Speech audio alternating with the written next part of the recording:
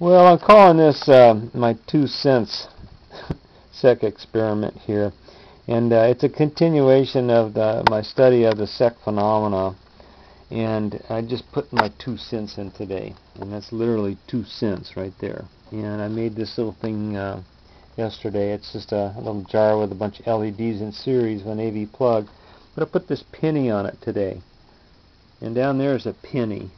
And that penny's on the end of that wire going over the end of a standard L3 coil going into a homemade SEC 15-3. That's one I made.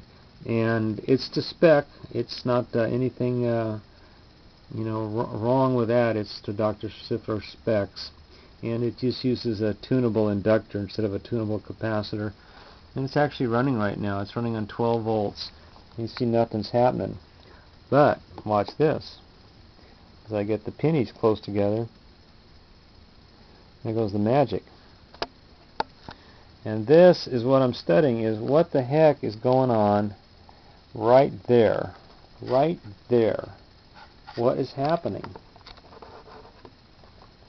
That's the question. What's causing that?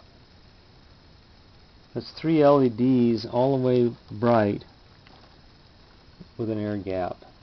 And um, the question is, is that just a capacitive coupling uh, between a uh, high frequency oscillator that's putting out relatively low voltage, it's not in the thousands of volts, it's in the hundreds of volts, or is there something really, really magic going on right in there? And that's what I'm studying is, is why is that happening? Why is that going on?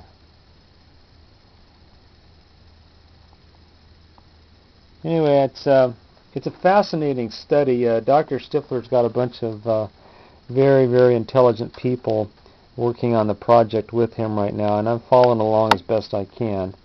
And uh, anytime I can do anything to replicate uh, something, I'm trying my best to do that. Thanks for watching.